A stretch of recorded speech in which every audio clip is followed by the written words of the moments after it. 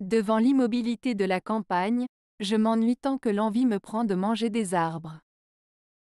Francis Picabia Cette citation de Francis Picabia décrit l'ennui profond que l'on peut ressentir en observant la campagne environnante, qui peut sembler immobile et monotone. La mention Manger des arbres est une image poétique qui exprime une envie irrépressible de faire quelque chose de complètement absurde pour échapper à cet ennui. Elle souligne aussi la frustration et la désolation de celui qui se trouve dans cette situation.